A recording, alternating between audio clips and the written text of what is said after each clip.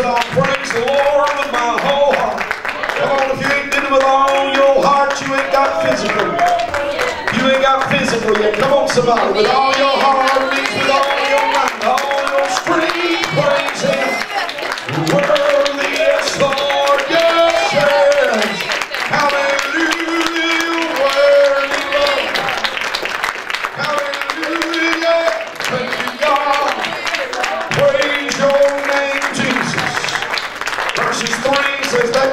praise, a wholehearted praise, produces his presence after this kind. He said in Psalms 93, when, somebody say not if, but when my enemies turn back and fall and perish at your presence. Somebody shout, the devil can't handle the presence of God. He had to go forth from the presence of God in Job 2 and 7 before he could ever smoke Job with sore bowls from the crown of his head to the soles of his feet. Devil had to get out of the presence of God before he could afflict.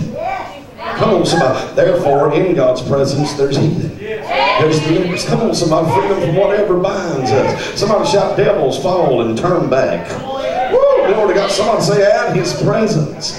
Psalms 97 and verses 1 said, Let all the earth rejoice. Come on, somebody. For the Lord reigns. Praise God. And by verses 3, he said, The hills will melt like wax at his presence. Come on, church. I'm telling you, there's a praise that brings a presence of God. Come on, church. Glory to God that drives back devils, that causes devils to flee, sicknesses to leave. Hallelujah. That burns up mountains. Come on. Somebody give God a mountain burning praise.